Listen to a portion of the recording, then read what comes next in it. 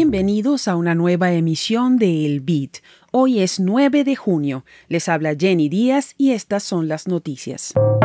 Custodio de criptomonedas estadounidense Prime Trust será vendido a BitGo para evitar bancarrota. F2 Pool entra en el negocio de los ordinals de Bitcoin. Binance US suspende el uso de dólares.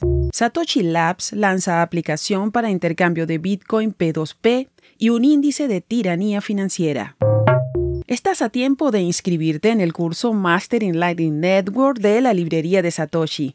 El sábado 10 de junio será la segunda clase de preparación completamente gratis. Más información en libreriadesatoshi.com. La firma de custodia de criptomonedas BitGo ha llegado a un acuerdo preliminar para comprar Prime Trust, otro custodio de criptomonedas involucrado en rumores de bancarrota ayer. Un tuit de David Bailey, CEO de Bitcoin Magazine, encendió las alarmas. La publicación reza lo siguiente. El principal custodio está a punto de declararse en bancarrota sin un rescate de última hora. Saque su Bitcoin de los intercambios, incluso de las plataformas de solo Bitcoin.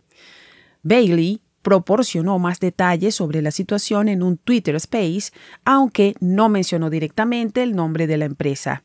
Sin embargo, los comentarios e hilos de la discusión señalaron a Prime Trust como el custodio más probable de este caso.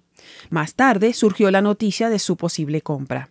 El anuncio reza lo siguiente. BitGo firmó una hoja de términos para adquirir el capital de Prime Core Technologies, la empresa matriz de Prime Trust, brindando continuidad comercial, estabilidad a largo plazo y soluciones seguras y reguladas a los valiosos clientes de Prime Trust. Fin de la cita. Según los medios, Prime Trust ha estado dando muestras de su declive desde hace algún tiempo, ya que a principios de este año tuvo que despedir a un tercio de su personal, cesar operaciones en Texas y cambiar a numerosos directores ejecutivos. F2 Pool uno de los pools de minería de Bitcoin con más trayectoria en el ecosistema, comenzó a participar esta semana en el mercado de los controversiales tokens de protocolo Ordinals. El grupo minero ha dispuesto una función en su plataforma para realizar las subastas llamada Ordinals Actions, que fue lanzada el pasado miércoles. El anuncio fue colgado en el blog oficial. Cito. Presentaremos el primer Satoshi de bloques de Bitcoin recién extraídos para subastas. Siéntase libre de ofertar por los que le interesen. Según la información, las ofertas iniciaron con 10 satoshis de un nivel de variedad poco común. Las subastas tendrán una duración de 24 horas y el pool agregará regularmente nuevos sats poco comunes. F2 Pool es uno de los pools de minería más antiguos y prestigiosos, ya que lleva más de una década entregando poder de cómputo a la red de Bitcoin. Binance US anunció que está haciendo la transición temporal a un intercambio totalmente de criptomonedas a partir del 13 de junio. El cambio sería consecuencia de las presiones y tácticas extremadamente agresivas e intimidatorias de la Comisión de Bolsa de Valores de Estados Unidos, la SEC. En un tuit, la empresa informó que los depósitos en dólares se suspenderán a partir del 9 de junio y los pares comerciales basados en USD se eliminarán de la lista poco después.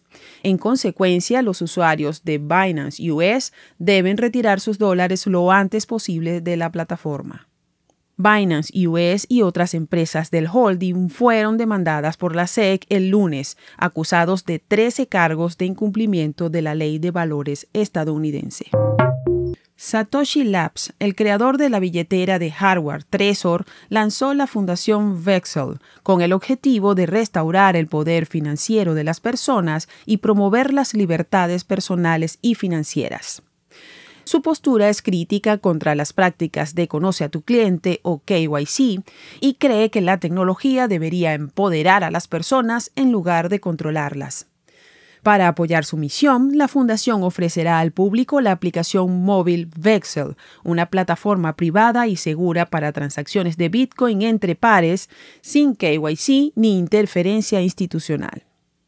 También presentó el índice de tiranía financiera, FTI, que mide el alcance de las intervenciones estatales en el espacio financiero.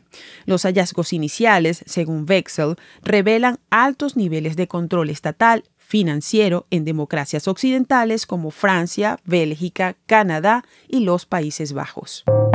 Al cierre de esta emisión, el precio de Bitcoin es de 26.650 dólares con una variación al alza de 1% en 24 horas. Esto fue el Bit desde la librería de Satoshi con la producción de Proyecto Bitcoin.